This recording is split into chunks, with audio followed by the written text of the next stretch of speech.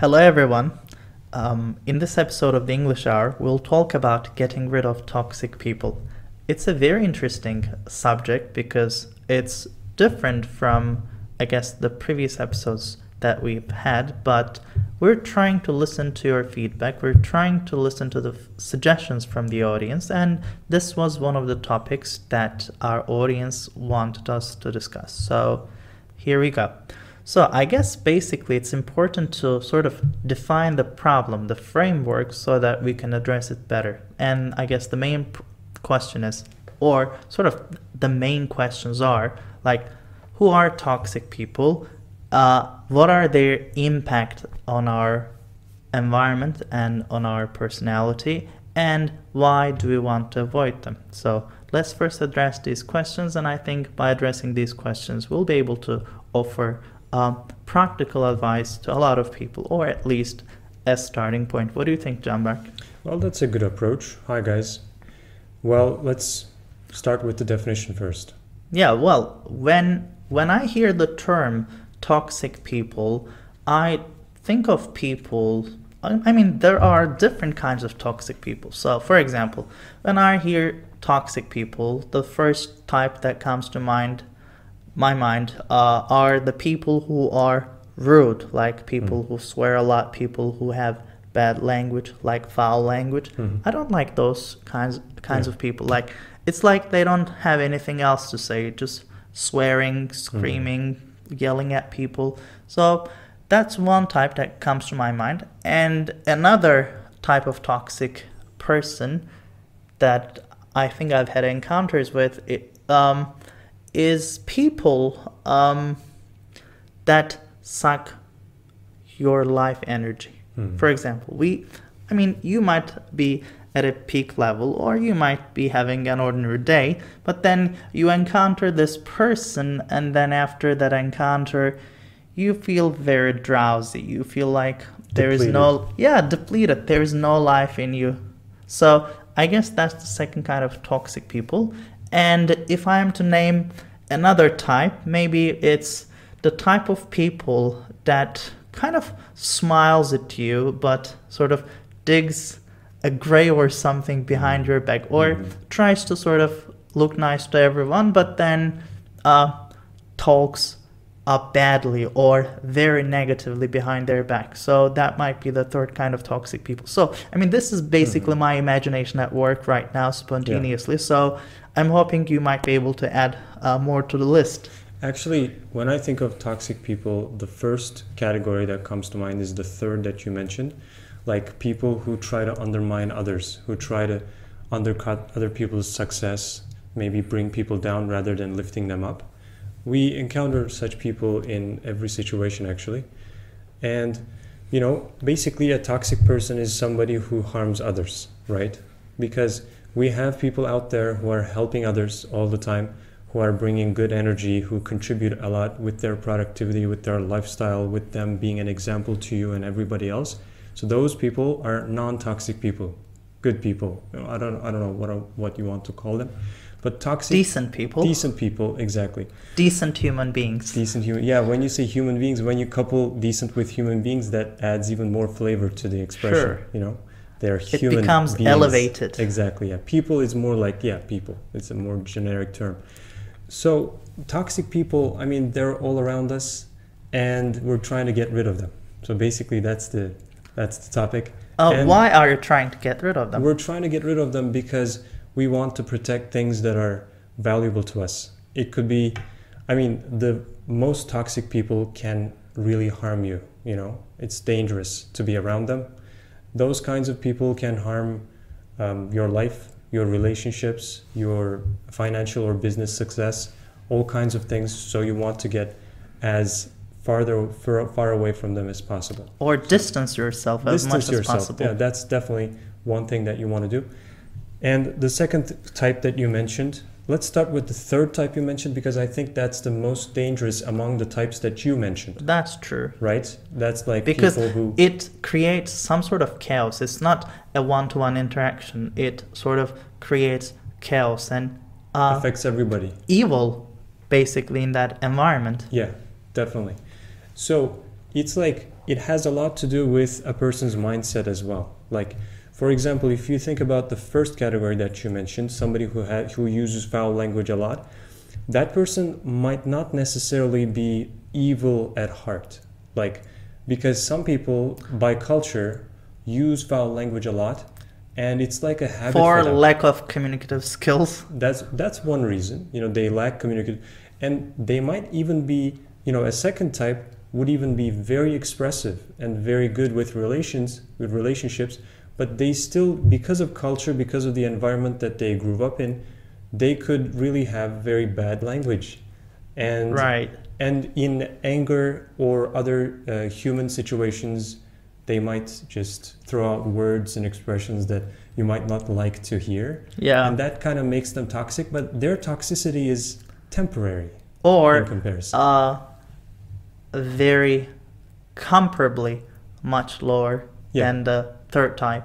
definitely the third type that's like more evil that's more sinister Yeah, You know, it is. that- you know it's like stab your back type of deal you know Yeah. that's dangerous stuff Even you, Brutus.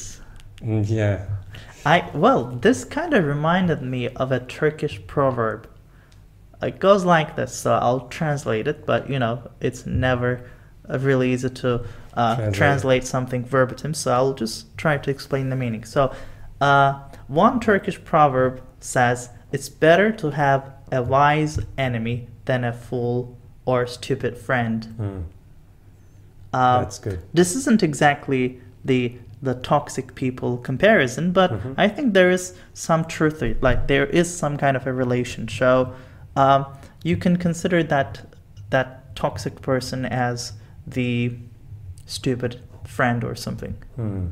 I'm not totally sure. This it's just that this reminded me of that mm-hmm. proverb. it's a good proverb though It is, yeah. it's yeah. definitely helpful if you apply it to your real life situations it improves your life you know i think one way to get rid of toxic people would be first of all to observe the context that's really important because you encounter toxic people in every venue in every environment and sometimes you might not be able to effectively get rid of them for example there are a lot of toxic people there can be and there there actually are a lot of toxic people in your family environments and that's a problem Yeah, it's a very tricky situation. yeah because in turkey we It's have like in- extended families Yeah, it's inter, in Turkish we have this great saying, but I'm not sure how you you're can. going by sayings today yeah, yeah. Uh, well, this just reminds me of several expressions. So, it's good well, I'll first say the Turkish version and then maybe try to explain it in English. So it's like atsan atılmaz, satsan satılmaz. Mm. So you cannot throw it away. You cannot sell it either. yeah definitely well you know that's you got to live with them right you got to Sure. live with the situation so you have to have a lot of management skills i guess in those situations in in situations where you can't effectively distance yourself from a toxic person you have to manage the situation as much as possible which means if they're family you're not gonna go beyond the uh, how are you or pleasantries level Phase, yeah. yeah, you want to have like a pleasant word or two with them and then keep it, you know, keep it there. You don't want to go beyond that, especially if they're the third type, the sinister type. Oh, yeah. You definitely want do, do not want them near your family, near your house, even you know if uh, situations permit. And in that case, I mean, the more you talk to them, the more dangerous they might turn out to be. Because because they the more knowledgeable they become about your life. That's true. So, I mean, there are people who try to sort of exploit the knowledge that you share with them in pretty bad ways. Definitely. So uh, if it's a family, you know, basically manage the situation. If it's a professional setting, that's also difficult. Then in- Especially if you're in the same environment all the time. definitely, you know, breathing the same air, the same, sharing the same atmosphere, that makes life difficult. Definitely, you know. Sure. In that case, you have to maybe uh, talk to a supervisor and maybe get some authoritarian help. Sure. That's what And the thing is, like, the ideal would be to be able to work with uh, people who complement your skill set, the, the Mhm. people that uh, that you can relate to. I mean, that's the best scenario, and uh, try to do it as much as possible. Mhm. But I know, and we all know that there are times when we have to work with people who we might not like a lot, Mhm. and and it's beyond liking. I mean, you might have serious problems with some people, and in those cases, again, I guess the management skills come into play because. Uh, you will have to gradually or maybe suddenly uh, distance yourself. Maybe a gradual transition might work out better in the Mhm. long term. For example, if you don't want to be with a toxic person, then you will have to avoid the environments that that person is present in. So, like uh, the social encounters, the Mhm. environments. For example, if you're going for lunch or dinner or something, Do not choose You- the restaurant that they go to. yeah, or um, make sure that you go at a different time interval. So Yeah. either earlier or later, so that you don't cross paths with that person. Definitely. I mean, if it's serious, Mhm. sure. And also, you have to live by a set of rules and principles that are going to keep you away from such people. Such, for example, it, never go into long-term business dealings with them. You know, because you you're looking for trouble basically if you do that. So one way you know you can keep them at bay is do not get into anything that uh, makes you and them invest uh, for long term. You know, that's Ah, you have that's something to say. okay. Well, I guess I'm in a very metaphorical uh, phase today or mindset because when you start talking about uh, spending time with them, distancing uh, those toxic people Mhm. away from yourself, this remind especially the in in a business setting. So Yeah. you don't want to uh, have a long term business relationship with those people. So Mhm. uh, it reminded me of another Turkish Mhm. proverb which goes like this. So I mean. And by we- the way, for our audience, Huseyin is not reading from a piece of paper or anything. You know? Yeah, yeah. Well, this is just this is just impromptu. So there is this saying in Turkish. I'll just say it first and try to explain it. So it goes like this: "Körle yatan şaşı kalkar." So the the gist of this phrase is that uh, if if you sleep with a blind person, then you will end up having eye problems, sort of. So it's just like uh, uh, it's it's a relationship law. So we become similar to people we spend uh, time with, and there is an there is a famous saying. It I don't I don't remember who said it, or I don't have the exact words, but it goes like this: You're the average of five people that you spend the most Mm. time with. Definitely. Tell And me your friend, and I'll tell you who. you Yeah. are. Yeah. I mean, this of course reminds me other Turkish proverbs, but I'll not go into detail. But sure. Yeah. So basically, um, one way of keeping away from toxic people is, you know, as an umbrella term, management. That's really important. Trying to manage the situation. I think another approach could be, and this depends on the level of toxicity Yeah. emanating from them, is stonewalling them. You know, based stonewalling a person means not reacting to their initiatives, their um, attempts to contact you, engage with you, and you know, this is actually, as far as I know, a- a- advice given to people who encounter harassment situations in public settings, for example. If somebody's, you know, whistling at you, trying to get a reaction out of you by telling things to you that you might not like to hear, or even trying to engage in physical contact in any way, then stonewall them, right? Like, do not give any reaction to them, do not engage them, uh, do not give them the attention that they so crave. If Yeah. you deprive them of that kind of attention, then their attempts basically fall flat. They realize that they're not going to get a reaction out of you, so maybe they divert their attention to another person, or maybe they uh, shut up, you know, Yeah. hopefully.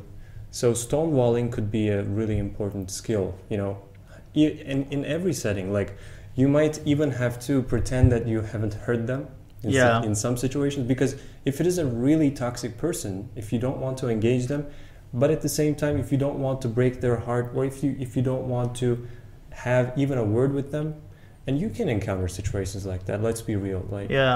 so in such cases, I think the best to do is like do nothing, right? I haven't heard. I'm like, what's going on? I mean, the thing is, it takes a lot of patience. Yeah, I mean, patience is key. I mean, you might already know what you should do, but knowing what to do and implementing it are very different.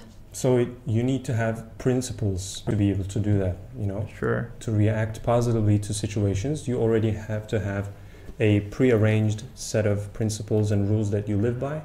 That makes things really easy. And the thing is, like, while we're talking about this, I can't stop thinking about the fact that no, no. Well, I'll stop it here. So the thing is, so um, you know, uh, you're trying to keep toxic people away from your life, but at the same time, it feels kind of sad because uh, maybe those toxic people can turn out to be good people over the long term. I mean, they might be able to um, get their act together, Mm. maybe, Mhm. but then you know you have to uh, cut contact with another human being. You have to distance them Mhm. so that you can uh, have peace of mind.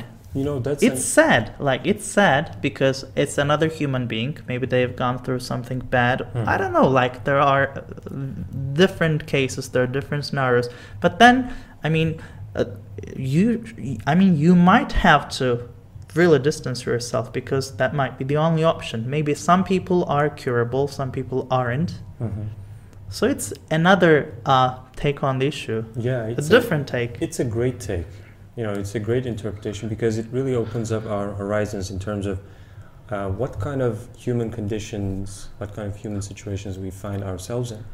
And if you think about it, like a toxic person could really be somebody who really needs just a bit of convincing, just a bit of a different approach so that they can express themselves more positively in more positive terms or ways. But at the Yeah. same time, that toxic person might also draw a lesson from you not misbehaving against them, not aggressing against them, not taking a more aggressive or more uh, attacking stance, but at the same time keeping your distance.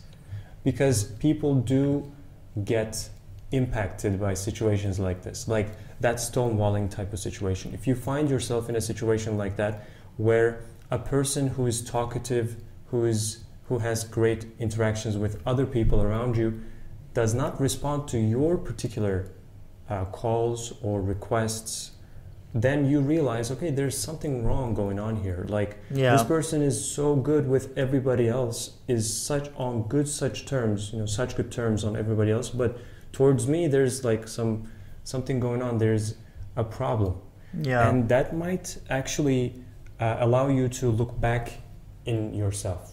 That might allow you to do some soul searching and or then you- reflection. some reflection, right? Some introspection, and then you come to may, you may come to the conclusion that okay, well, I see so many virtues in this person, and they're not talking to me. Maybe there's something wrong, you know?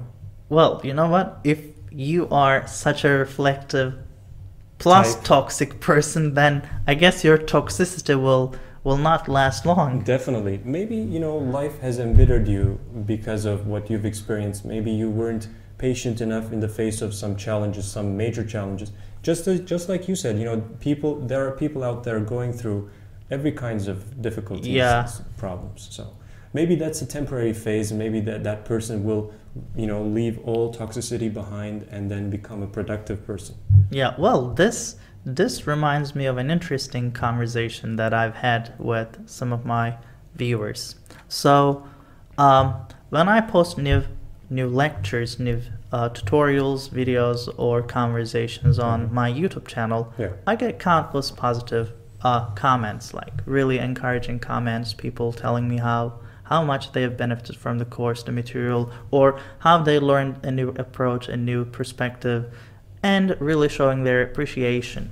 And honestly, a lot of effort goes into the production of those courses because I have to set aside time, plan it, record it, uh, the equipment, the the program, software, uploading, everything. It The takes scheduling. yeah, it takes an enormous amount of time and effort, and as well as investment. So Definitely. it's a very Time. yeah, it's a very costly uh, process, and uh, I mean, I've I've realized that. I mean, I was looking at the numbers. I've recorded over 300 courses, lectures um, in about one and a half years, and that's that's a remarkable number. I mean, I'm sure there are people who can beat that, but it's pretty remarkable. It's as quality too. yeah, it's pretty remarkable. But then You're not putting out a vlog. that's true. Like each piece is generally well thought out. So, but there are times I get very mean comments. Like they're very mean, very abusive comments from some people. I'm like, oh my god. In the past, uh, I used to answer their comments. Like I'd say, like, what's wrong with you? Or I guess I guess you did not understand what I'm saying because, for example, someone uh, makes a comment, but based on the lecture, but uh, I've addressed all of their objections in the lecture, the video. And I guess when I look at their comment, I think, well, these people probably haven't seen the video and commenting on it without really understanding what I'm saying. Like, I'm saying the same thing, maybe that person is saying the same thing. I don't understand. So there are a lot of mean people, uh, and I used to answer them. But I thought, I realized that it was an endless well. Like, it's a downward spiral because they take a lot of your time and energy. I think they suck they suck out your energy and I stopped yeah, haters. Like haters are, are gonna hate. right? Haters gonna hate. Yeah. yeah. haters are gonna hate. So I was like, okay. And I mean, at first I found it very difficult, you know, because uh, I am a, I guess, a very talkative person. I like like talking to people, having conversations, trying to understand their point because I respect those people as human beings. I might not know them, I, they might be mean, but still, I think they're human beings. So maybe I can help them. Yeah, and you are also a very feel-good person, like running on good energy. Yeah. That's one of your principles. So, So uh, I was trying to help a lot of these naysayers, so to speak, but then I realized I was having conversations, uh, dialogues with them that didn't really end well. Like, for example, there was this one guy who said, "Oh, you're always posting positive comments from your students about your books and stuff. Here is my comment," and he was going on some negative things like, "Okay, I didn't like that part of the book. I didn't like this part of the book. Uh, if you're honest, share it." And I was like, "Okay." Then I shared it. then people started uh, writing back to that guy, like, Oh, yeah. because like I mean, community they've defending. you. yeah, they they've seen the comment and they're like, okay, this is kind of stupid. Like what what you've said, what this person said about the books and stuff. And then this person was telling me, oh, you should immediately uh, delete that uh, that comment or that something that you shared. I mean, this guy begged me to share it because he thought I was always sharing the positive stuff. Yeah, he thought he was challenging you. Yeah, yeah. I was like, okay, here it is. I'm sharing the screenshot of your comment. Feel free, you can share it with anyone. And here on my channel, on my social media profile. And then this guy got very angry because I shared, despite uh, the fact that he wanted it. Yeah, because that allowed the community to take it apart, basically. Yeah, You know? and that that was that was a very interesting experience. Mm. It was very interesting. Like Yeah. I wouldn't do it, but I was like because like this guy kept pestering me like a couple times. I was like, okay, okay, I'm done. Let's share it. Yeah. Have it your way. And you know what? That reminds me of something about toxicity and toxic, the word toxic. Toxic basically means waste. That's the thing about being toxic. You are no good. Like, you're not doing anything useful. That's the part that really um, gives us the, sh- the sense that we need to cut such people out of our lives because it's waste, basically. What do you do with waste of any kind? You cut it out. Yeah, You put it in the garbage. Yeah, you take it away, you throw it away. So that's the same thing. You know, if you have toxic behavior, it should be going to the same garbage bin that toxic substances should go to. I mean, that was a very interesting experience. Like this Yeah. guy, as I said, kept pestering me with negative comments. This one single person, and eventually, I wanted to make him happy, but then his. he did not feel happy either. That was interesting. And then, so after that encounter, I I thought, okay, there's no way to please these people. Like, literally, uh, even if you uh, uh, like agree to their demands, like do things they want, they wouldn't feel okay because I think they've got something missing. I don't know. So I stopped paying attention to naysayers, Mhm. and I think it has been uh, very positive because I feel much better. Because you know, uh, I've also learned some lessons about toxic people and toxicity, especially if you're online. If you're putting yourself in front of like uh, hundreds of thousands of people, you're gonna encounter a lot of criticism, a lot of toxic people, Mhm. and uh, a lot of people tend to say nasty things that they wouldn't say in in real life, Mhm. or they would be afraid to say in real life. You know, yeah, because, online anonymity gives Yeah. them the, all the weapons they need to sure attack they people. they can simply hide behind uh, a nickname or something. Yeah, there should be some kind of a pleasure involved in this. Like Yeah, I they guess. should be deriving some kind of visceral pleasure out of attacking other people. I mean, I guess they have little means of driving pleasure out of life. I mean, you have to be such a loser to have that as a means of driving pleasure. So, so that's one thing. And uh, one of the things I've learned, maybe it's also a good skill or a good strategy to uh, deal with toxic people. So, there was this uh, uh, this approach of quantifying your feelings. For Hmm. example, uh, one approach said, well, look at the comments and the response. So just count them and compare uh, the positive and the negative comments to see if they make sense Hmm. or what is their ratio. And in my case, I realized, okay, like 95 uh, percent of the cases, I'm with my audience. Like we're having a very positive dialogue. And then, Mhm. okay, it's okay to have a couple naysayers or haters. That's okay. I've come to accept it. Yeah.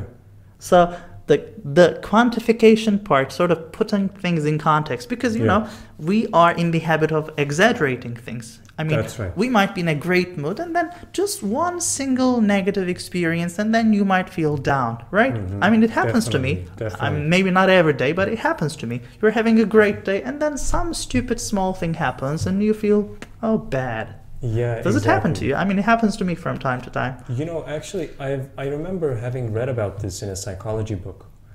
I don't know the exact terminology involved in this, but it is basically focusing too much on a particular aspect of a person's personality and then completely discrediting that person's character altogether. I think a lot of people end up doing this. Like a relationship, for example, starts on, a, on good terms, and then you start to look at the, the other person's positive traits and virtues a lot, and maybe at one point you think that they're a great person. Like maybe you kind of glorify them in a sense, and then you know there is like a plateau phase where everything is human, you know, and you're still on positive terms, but there is also like a point where the relationship kind of takes a downward uh, trajectory. And at one point, you might uh, find yourself in the fallacy. This is this was actually, I think, uh, t- named a fallacy. Yeah, it might this is be a kind cognitive of a fallacy. Cognitive fallacy. It's like a cognitive mistake that you make. yeah. Um, maybe uh, unaware. You know, you're unaware of the mistake, but you make it. You see something about the person, and you um, dislike it so much, so intensely, that that little mistake, and this little in comparison, completely wipes away all of the positive things that you have been thinking about that person and that person's character. And you know, basically, it's bad blood between you, and you know, the relationship kind of takes a That's very Yeah, interesting. Just one interesting. small definitely. small aspect of a person's personality can really change things. Yeah, I was th- I was talking about an interesting conversation I had with with some of my viewers, listeners. So, uh, a couple days ago, I I I published another lecture on Hmm. how you could improve your listening. No, how you could improve your speaking skills Hmm. without speaking much. Hmm. That was very controversial, but it came from personal experience because uh, when I was in high school, I didn't have a lot of uh, uh, opportunities to practice my speaking skills. But what I had, I, what I had was, I was uh, chatting with my friends online, a lot, Mhm. foreign friends, and it helped me produce sentences quite quickly. Hmm. So I was able to use grammar and vocab and form sentences pretty quickly. You know, instant messaging Mhm. messaging. So, and then I was also conscious that I had to learn the pronunciations of words because if I did not know the pronunciations, then I would not be able to listen to them and I would not be able to pronounce them when I needed. Mhm. I mean, I did not have the opportunity to sort of speak English a lot, but I was sort sort of taking a modular approach. Mm. Like I was readying up the bits and pieces. Mhm. So, and then one day uh, we had visitors from a European Union project coming to visit our high school, and that was pretty much the only or the first speaking experience I've had. Maybe my my classmates had. We were the foreign language class, and then a- after like 10 to 15 minutes, I was assigned to a woman, like probably Finnish. I don't quite remember the nationality. Um, So this after- is a group of students? no group of uh, uh, teachers or inspectors, sort of. Hmm. It's not students. It's Being like matched with students to talk with them? yeah. So I was like the foreign language class had eight uh, students and Mhm. our teacher, and I guess the incoming group had like five to six people. I don't Hmm, quite I remember the numbers. So they were adults, probably supervisors or inspectors or something from Mhm.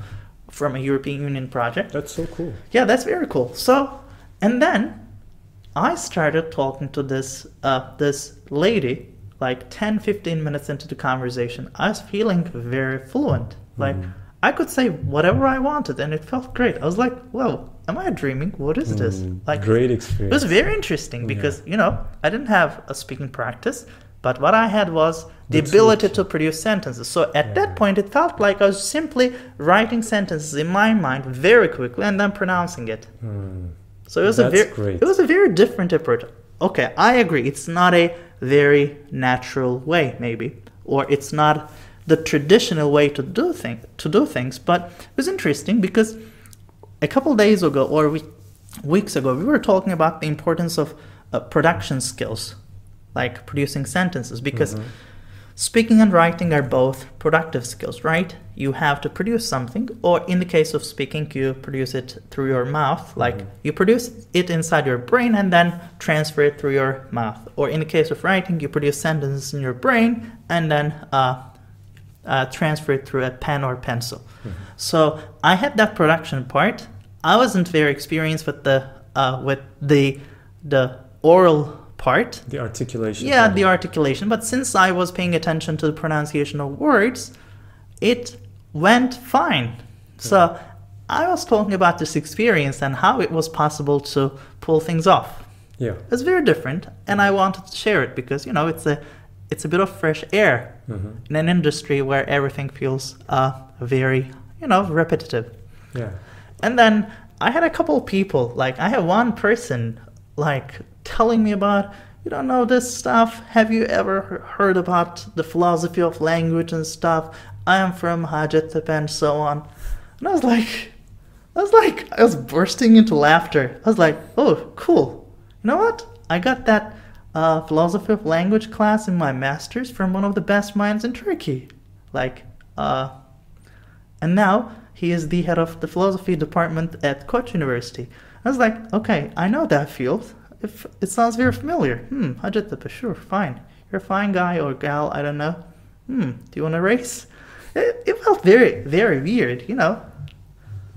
Yeah, you know. And I was like, okay. And upon that conversation, I asked some of my audience, okay, I've, I'm having like such and such things, like people who don't who don't see the horizon or who don't see other options. Like maybe you're at level one or level two, but you don't see what is above you, or you don't see uh, the the complete view. You know, it's like a building. The higher you go, the better view you get, or a more complete or comprehensive view you get. But if you're at the bottom, like if you're in the basement or in the entrance floor, you don't see much, right? You just see the wall in front of you. and the irony is, the closer you get to the building, the harder it becomes to see it. Yeah, that's true. I was like, I was asking the audience, and I was like, okay, what do you guys think I should do? Like, how should I go about this? Like, how can I teach these people? Like, how can I communicate with these people? And someone from the audience said something very meaningful. He said, "Oh, Hüseyin Hocam, or uh, Hüseyin Hocam, don't care, don't don't care because there will come a time. Maybe at this point that person is not open to that knowledge, open to that idea. Hmm. But it's the beauty of YouTube because maybe years later that person will come back to this course, Yeah. watch it again, and will have a very different appreciation. Happens all the time. And- Definitely. It was a remarkable point of view. I really Yeah. liked it That's because a wise interpretation. yeah, because that's true. You might not be mature enough to understand what is being said in that lecture, but Mhm. then over time you will develop a different perspective. You will learn new things, and 10 years later or two years later, it might feel very different. Definitely. Yeah. It, it happens a lot with books, right? It does. It, it does with uh, videos as well in this day and age because some videos are laden with information, you know, like there are nuggets of information inside them. And then you look at them and then you maybe get a super, superficial understanding of the content. But if you go back maybe three to six months later, Yeah. you understand that there's actually so much more to be had, to be absorbed in this content. That's true. You know, it happens all the time. So, this recent encounter that I've had in this respect also ties to my initial comments regarding the toxic people being people. Okay, Mhm. that person might be toxic, but there might come a time when that person again becomes a decent person Yeah. or will have a change of heart or change of ideas or something. Well, it's not unlikely. I Mhm. mean, it might not be very likely because generally, if, I mean, if being a toxic person is a part of your personality, I'm not sure. I don't know how it feels. Yeah, like, yeah. I mean, I guess I'm not a toxic person, so I don't know how it feels. You know, this is a good point to, I think, mention one more thing. And I think one of the best ways that we can get rid of toxic people and toxicity in our lives is to, first of all, avoid becoming one. You know, because all of us can fall into such situations, can end up in such situations. You know, if somebody is behaving in a way that you would describe as toxic, that person might actually be a very good person, a very decent person in their normal lives, but that situation kind of broke them, you know, kind of they snapped in that situation. They just couldn't control their feelings and they said something or did something that is not representative of their true character, true colors. So, for all of us here, you know, in the audience, myself included, I think the best thing we can do to get rid of toxicity in our lives is to first of all avoid situations where we lose our temper, lose our patience, and do something that we will regret later on. Because in that case, we ourselves might also be perceived by somebody as a toxic person. I guess it's possible to have uh, bouts of toxicity. Yeah, definitely. So uh, that's true. So it doesn't have to be a personality trait. I Mhm. mean, there are times when I feel mean, nasty, Mhm. right? Like maybe some. I mean, maybe one, maybe someone made More me angry. irritable. Yeah, maybe someone made me angry. Or Mm. I'm losing my patience, and then I might uh, become nastier towards other people. Right? It happens because I mean, no one has infinite patience, Definitely. and everyone is irritable. Not, But the yeah. degree would differ definitely. I mean, Exactly. you might have more patience, I might have less patience. And it is also a habit. Let's not forget that. Patience is a habit. sure. It's something that you can cultivate. So, it, you know, you can't take responsibility out of the equation, but at the same time, you're right. I think a lot. There are times when we, we basically our patience dips. You know, yeah, it's hard to avoid that. it's hard to keep it refreshed. I mean, especially if the circumstances are challenging. Definitely. Yeah, it requires a lot of concerted effort. Yeah, there are some perfect storms sometimes that in which things come one by one and they hit you like a train wreck and then you find yourself like lying down and if you try to get up something else comes and stream rolls over you and it's difficult you know Yeah, it happens. I mean, if it didn't, it probably will. yeah so Okay, yeah. that was that was great i think that was like a candid conversation about how we feel about this and that's what i really like about these podcasts like yeah, since we don't script anything, we don't have anything written down, it's so easy to just delve deeper and deeper, as deep as we want, into the topic and bring real life examples and try to, you know, think on our feet. This is really fun. yeah. It's not like we're trying to contain the conversation. The Yeah. conversation guides us. Definitely. it's much better because you know i mean honestly uh, when we start uh, recording the episode. I don't know how long it will take, or I don't know what we'll talk about. But it so happens that every time we have something to talk about, and that feels very interesting. Yeah, it definitely does. Sometimes you feel like you're gonna run out of ideas quickly because you think, okay, what's gonna come out of this? Like getting rid of toxic people. Okay, keep away from them. All right, that's it. Yeah. You feel like that, but when you get into it, then you realize, okay, this is another human area, something that we encounter all, you know, every day.